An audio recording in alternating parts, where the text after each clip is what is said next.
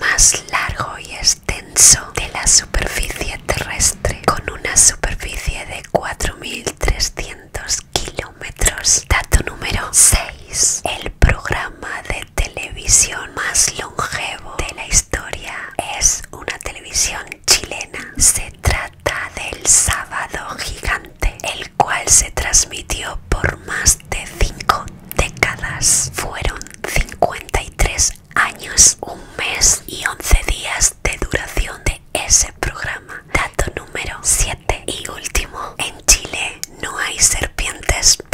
En el territorio nacional se conocen más de 3.000 especies y ninguna de ellas es venenosa. Espero que los datos curiosos de Chile os hayan gustado.